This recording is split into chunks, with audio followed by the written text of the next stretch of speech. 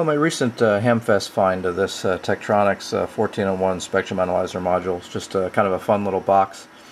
And as I may have mentioned in the previous video, um, the interesting thing about this module is it was available, or it was typically sold along with a, uh, a little 323 uh, battery-powered oscilloscope that was virtually the same physical size in terms of dimensions, and the, the handles linked together. And the nice thing is both of these things were battery operated, and it made it really popular with people doing surveillance uh, and looking for bugs and doing all kinds of uh, you know RF surveillance and things because it let, let, you get out in the field and make measurements without having to be plugged in somewhere. So it's kind of neat. It has a really neat little feature that I haven't seen on modern spectrum analyzers, which I thought was pretty cool. Um, part of the problem with some of these older analyzers like this is that you know when you put them onto the scope, nothing was really annotated. So if you're looking for a signal, what would you do? So this had a really neat, what they call a search feature.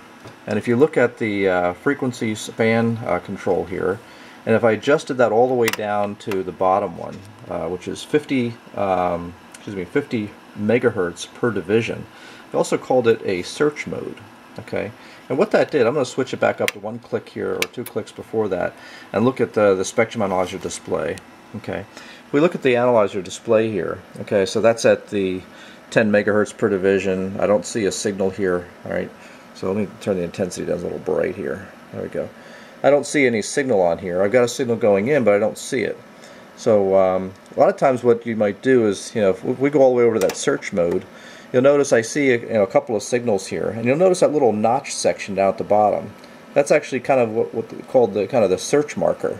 All right, and the way that worked um, is, is it allows you to essentially adjust the center frequency control here, which is also called the search marker.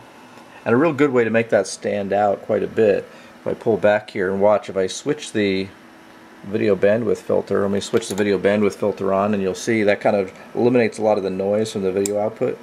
So I get this little notch, okay, and if we kind of pull this guy up here, and let's kind of pull back a little bit. If I adjust, you can kind of see that notch on the display.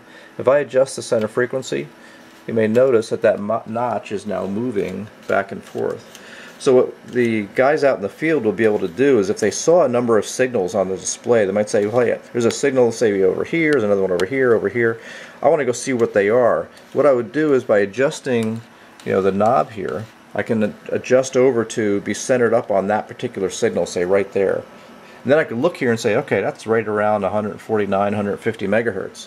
And then by taking my span control and zooming in, okay, let's uh, grab the right knob here, and now I can really zoom in on that particular signal, go finer and finer in terms of fewer megahertz per division, and get a finer look at that signal. I can adjust the resolution bandwidth down and maybe look at it a finer result of that.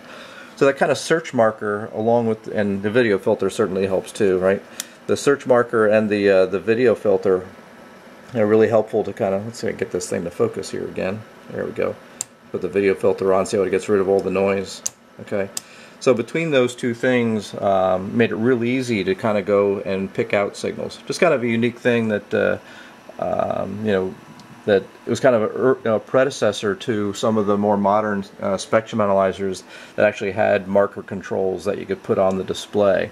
So before we had that, in terms of figuring out where you were in frequency, that little uh, that little search marker notch, if you will, I thought it was a pretty unique feature that, uh, like I said, I haven't seen typically on, uh, on other analyzers. Just kind of a unique thing. I thought it was pretty cool to do a quick little video on. But anyway, uh, just fun stuff from, uh, from the mid-70s. Uh, anyway, hope you enjoyed.